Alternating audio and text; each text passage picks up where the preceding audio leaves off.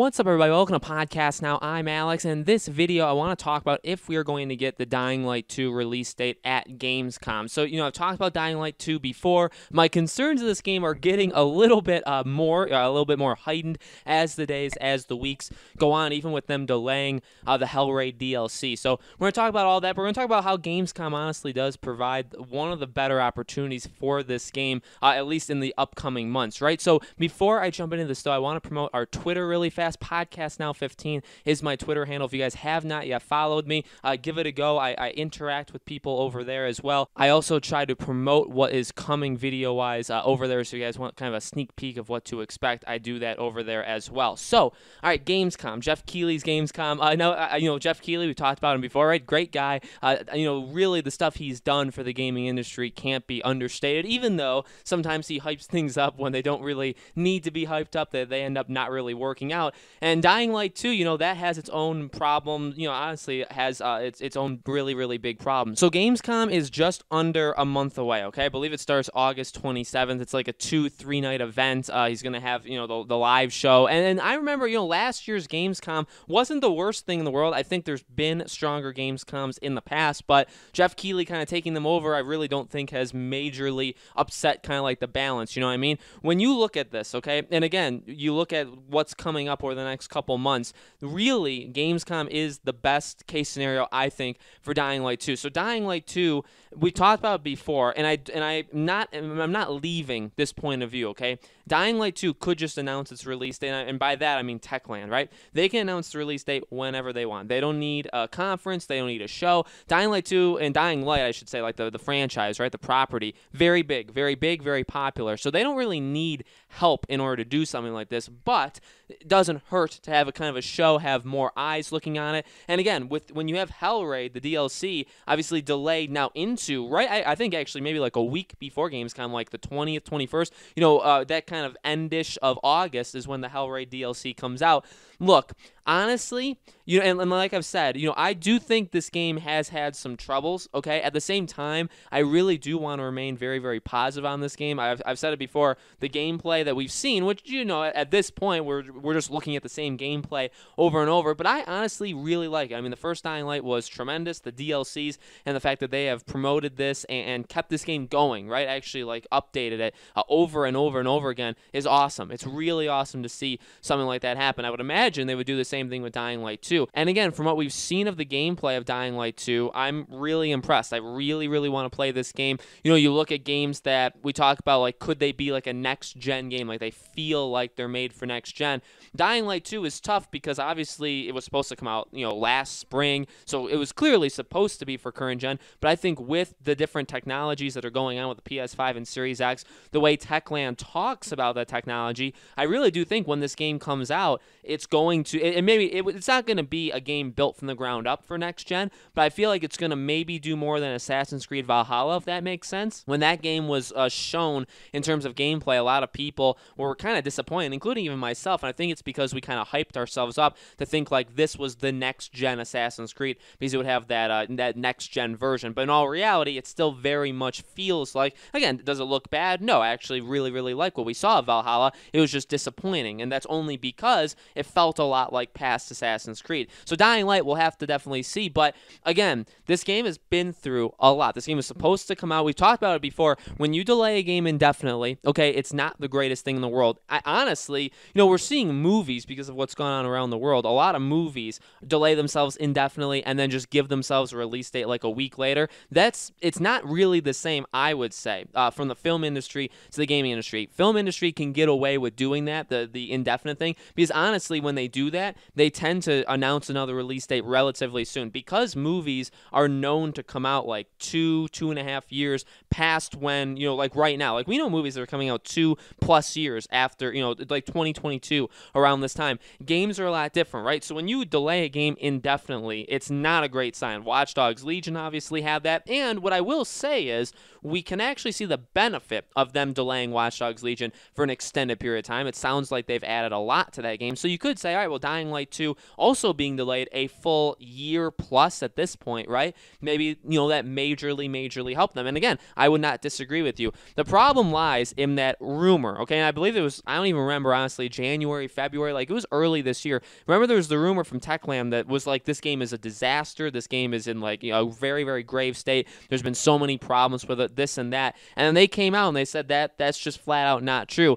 Look, the longer you don't have a release date, the longer you don't show us anything, the more that kind of creeps into our heads. Now, now I do worry about those kind of things. That just kind of is the person I am, but I'm also a very optimistic person, so I want to believe in the best for the game. I want to believe that this game is fine, that everything's going according to plan. At the same time, literally that last part, there's no way it's gone according to their plan because the game was supposed to come out over a over a full year ago. Okay, by the time it comes out, it could have been delayed like two years. Okay, and that, that's a if it gets delayed or if we get a release date, let's say for spring of 2021, two full years that that game had been delayed. So that is quite an issue. That's not something that happens every single day to every single game. You know what I mean? But when could we get the release date? Well, we talked about that before, right? We have this promotion going on uh, that we talked about a couple weeks ago, which seemed promising. I saw a lot of people say like that doesn't mean anything. It's not going to result in anything. I still think, I still want to believe that that you probably should give the release date of this game within the next little while. You don't want that that uh, the promotion to end where people, you know, if they buy the monitor, they buy the PC, or, you know, whatever it is, whatever you have to spend in order to get the free ver- uh, free copy of Dying Light 2, you don't want to give people the reward of winning Dying Light 2, but then also say, oh, yeah, well, oh, and then, and then they say, oh, I didn't even heard of Dying Light 2. When does the game come out? And they say indefinitely. Like, eh, eh, I mean, we don't know the date, right? Doesn't exactly seem like it's a great. Now, again, I know that's going back into that topic where a lot of people said it doesn't mean anything. I still think it's more beneficial of them to announce it, you know, sooner rather than later. Another thing, and you can think of this, I know I'm jumping to Gamescom. There is still the state of play. There's a new, there's, you know, a PlayStation state of play this upcoming month. There's probably another Xbox Xbox event. So there are going to be two other opportunities for Dying Light 2 to appear. Could it happen? Definitely could. It's, it's appeared at conferences before, so I don't think it's impossible. I just think Gamescom, if they're going to skip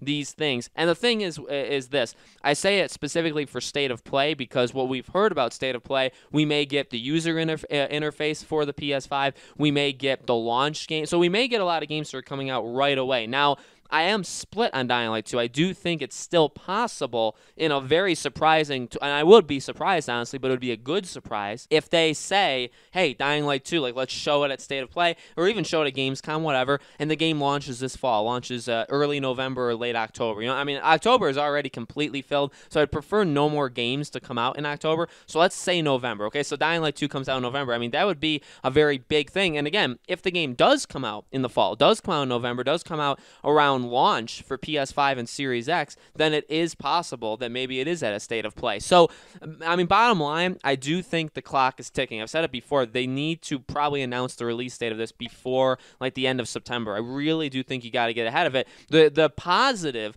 is because we already know this game exists. Again, it's not the same as announcing a game and then releasing it two three months later. We already know that this game exists. They could theoretically kind of bring it back in the spotlight, show another gameplay, you know, footage, thing, another 10, 15 minutes of gameplay, and say this game comes out in two months or this game comes out in three months. You know what I mean? You can do that. You can do that because the game is already around. We know about it. We've seen it before. We know its history. We know the franchise of Don. You know what I mean? So it's got a lot of things, honestly, still working in its favor. I love talking about this game because I really did like the first Dying Light, and I think there's so much more potential for a sequel. I honestly didn't give Dying Light the time it deserved. Okay, I really didn't play it all that much, although I did definitely enjoy uh, what I did play. I actually watched my friend play it a whole lot more as well. So I mean, I've experienced it to some degrees, but I really, I mean, this is the game, Dying Light 2. I think I really am ready to jump in and experience it. And it just sucks that like now is the time that I want to get into it so badly. And I guess you could say, well, jump back into the first Dying Light. I mean, they're still, uh, you know, they're still updating it, they're still adding things to it. I mean, that is a good point.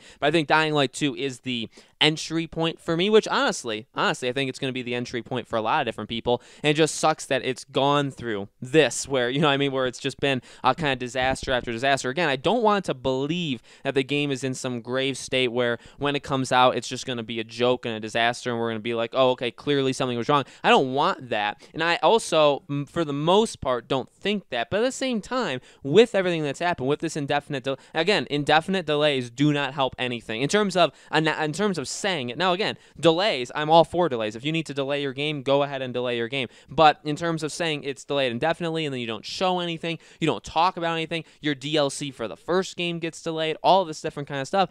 You know, there's no gameplay anymore. We have to start questioning things. And again, as the months go on, I mean, here we are, we're approaching next gen. So, Gamescom, I do think is possible. I think if it's not at state of play, then the next, whenever that is, now I'm recording this, they haven't confirmed it. I don't know if they've confirmed it, you know, when you guys are watching this, but if it's not at the state of play, if it's not at the Xbox event, which honestly wasn't it at the Xbox E3 last year, so I mean, it could definitely pop up. Uh, if it's not at either of those places, I do think Gamescom is the most likely thing. I don't think, you know, again, it could just randomly appear on its own, and I think that's definitely possible. But Gamescom, I don't know. It's a multi-day event. You know, Geoff Keighley's going to try and get a couple, you know, major developers, and also just some random titles here and there. I feel like Dying Light 2 kind of fits a bill of what Gamescom is. You know, you're going to have the really big headlines, which some people would say Dying Light 2 would be one of those, right? But you're going to have the really big headlines, and then you're going to kind of be picking, right? You're going to be picking these developers, picking these publishers, picking these kind of just games that are that are soon to come out, that are a little while away to come out, that people know about, that people don't know about.